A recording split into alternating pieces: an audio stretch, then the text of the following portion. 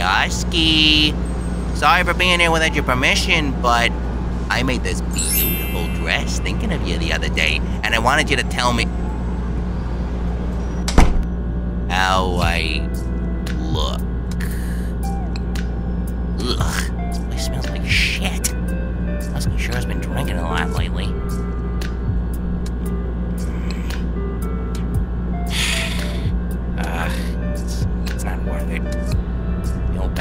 Impressed with anything.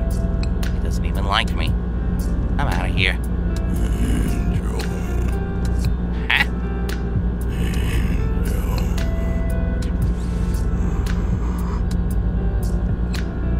No, wait, not again.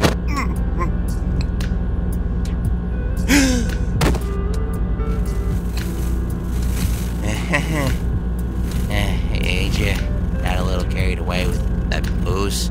Husky, um, I, I, uh, I'll, I'd better let you rest.